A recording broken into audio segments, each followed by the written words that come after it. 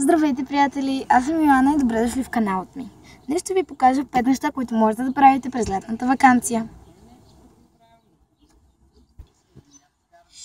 Първото от тези неща е да си опънете, да сложите една малка масичка с този чедър, например, и да се отпуснете с някакъв портокалов реж в ръка или някаква студена напитка. И с малко декорация.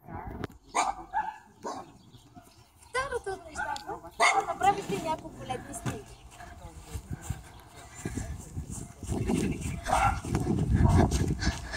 Еми, например, нещо като това. Това, това, това и така нататък. А третото нещо е да играете матч или с топка или с каквото и да било. Да разнообразите и да тренирате някой спорт с тази топка, която ви показвам в момента.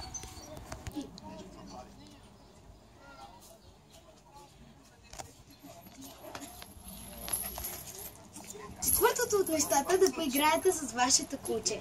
Много добър пример е, ако нямате куче, с вашия домашен любимец, ако имате такъв.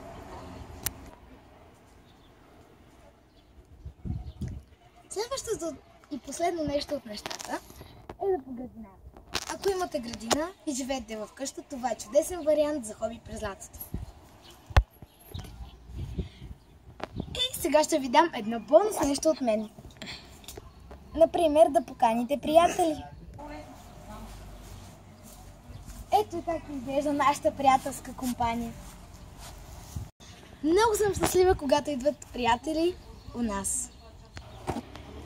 Е, приятели, това беше моето видео за днес. Ако ви е харесало, дайте палче нагоре и се абонирайте за канала ми. Чао!